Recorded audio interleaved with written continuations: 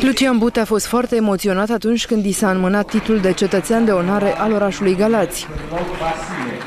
Sunt mândru că sunt român și mai presus sunt din Galați. Când voi boxa la Montreal o să mă gândesc la dumneavoastră și la toți românii. Lucian Bute va rămâne până la sfârșitul lunii alături de familie, după care va pleca pe 3 decembrie la Montreal. Buteș își va pune în joc centura de campion mondial anul viitor pe 29 februarie, iar adversarul va fi unul dintre primii 10 boxori din topul IBF.